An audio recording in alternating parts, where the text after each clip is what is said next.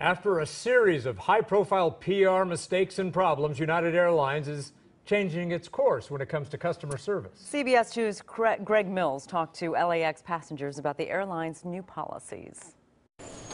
United Airlines says they aim to be more customer focused.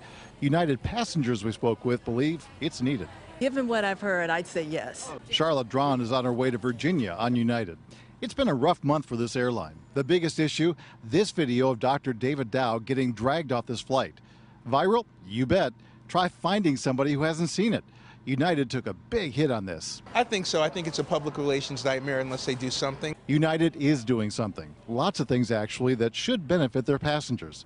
The new policy in effect now that includes no force offs of passengers already seated on a flight, as David Dao was. I think that's a good idea. I think that anybody who makes it onto the plane should definitely have the opportunity to ride. United will reduce overbooking flights. That's a good thing, yes. They will limit use of law enforcement only for safety and security issues.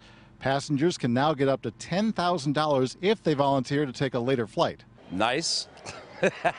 and agents will use an app that allows them to compensate passengers immediately. So I'm reading this list of policy changes to these passengers, but I swear they only hear the one thing $10,000. Yep, up to $10,000 to give up their seat. That's the one passengers really like. Wow, hey, boot me off then. Kyle Miller is part of this wedding party headed to Cancun.